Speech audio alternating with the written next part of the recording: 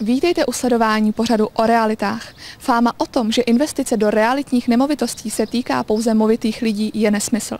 A my vám dnes povíme proč. Prozraďte mi, je investování do realitních nemovitostí výsadou pouze bohatých lidí, anebo do nich může investovat každý? To je často rozšířený omyl většiny lidí, že investovat můžou pouze, pokud mají větší částku peněz.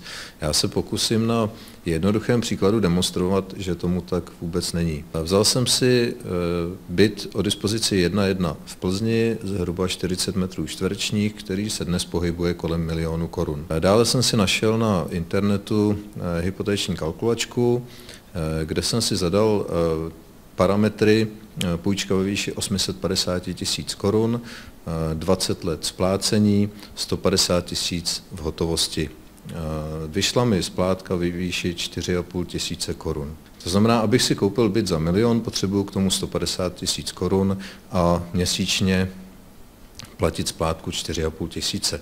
Ten byt můžu začít pronajímat, Příjem z pronájmu u takové nemovitosti se pohybuje kolem 6,5 tisíce korun.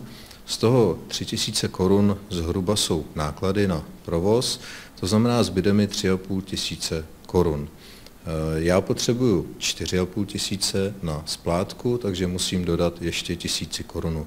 Když to tedy celé schrnu, tak za 150 tisíc korun v hotovosti a tisíci korunovou splátku každý měsíc po dobu 20 let jsem schopen získat byt o dispozici 1 plus 1 v hodnotě 1 milion korun posuďte sama, že to není žádná velká investice a většina lidí, jsem přesvědčen, neschopná to dosáhnout.